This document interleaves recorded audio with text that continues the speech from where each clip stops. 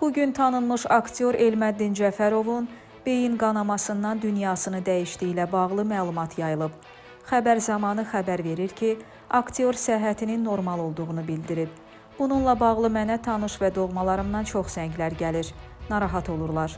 Bu xəbəri yayan insana deyirəm ki, bunu niyə edirlər? Niyə bu müqəddəs ayda insanların pis dualarını qazanırlar? Bu xəbərlər sadəcə bəyən və izləyici toplamaq üçün yayılıb. Ayıbdır. Səhhətim normaldır və özümü yaxşı hiss edirəm.